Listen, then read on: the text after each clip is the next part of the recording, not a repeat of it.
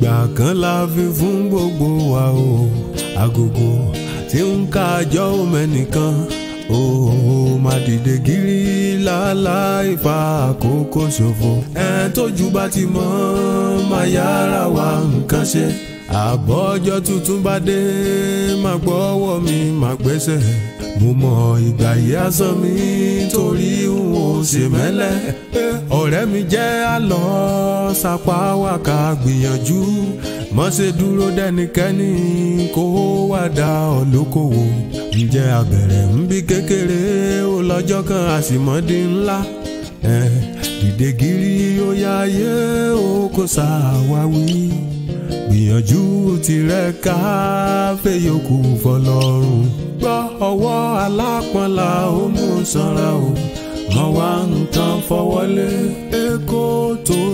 jù tètè wá nǹkan ṣe kíá.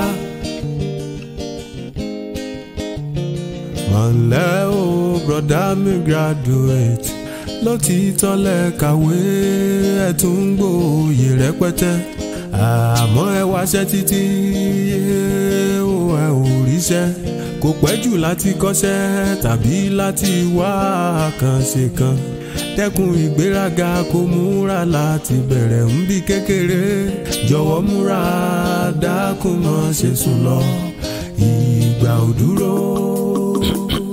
can you be telling me that after all I'm a graduate and I'm a first class student of one of the best universities in the country? Don't tell me nonsense. I mean my symposium is on a rigid pedestal. It's unheard for someone like me to engage in many duties or services. In fact, it is ridiculous. I never slap on my personality. And I must say this act of slander and libel because my dichotomism is on a better fulcrum. And ah, there's no way I can take that, I can't. Eh, hmm,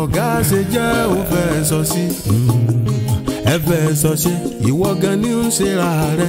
Eh, ti dẹni ńlá ìgbéraga láìsàn rẹ tètè lọ́wọ́ òun lò sí lajú rẹwà wọn kan tán ti di ńlá wọn ò láǹfààní bíi tirẹ̀ ṣebíṣẹ́ ọwọ́ wọn náà ń tẹpá mọ́ wọ́n tọ́jú ọmọ wọn aya àtẹbí wọ́n sì jẹ́ dẹni yìí láwùjọ múra ṣiṣẹ́ ọjọ́ rẹ̀ bí àti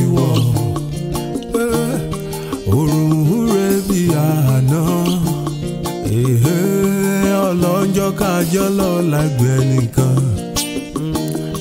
ìgbà ò dúró mọ́sá àsùn para ẹ̀bùn nígbà yìí jẹ́ òó kàmú kó tó lọ tán.